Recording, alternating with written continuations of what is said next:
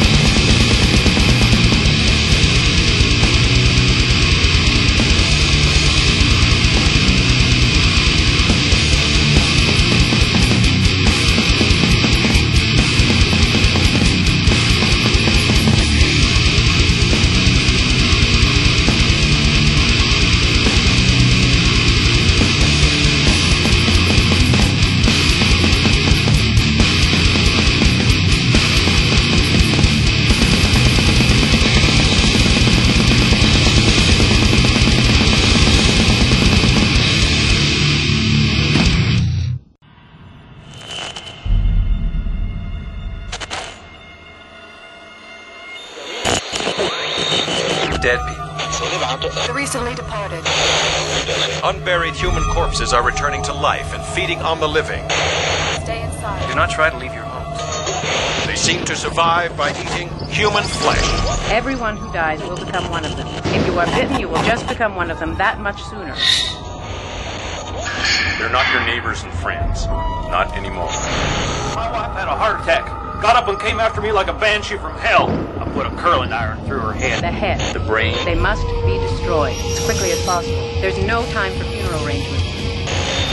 There's no time to dig a hole so you can drop these things in the ground. As long as we're alive, we're never gonna run out of food. The day they do is me only one thing. We're all dead.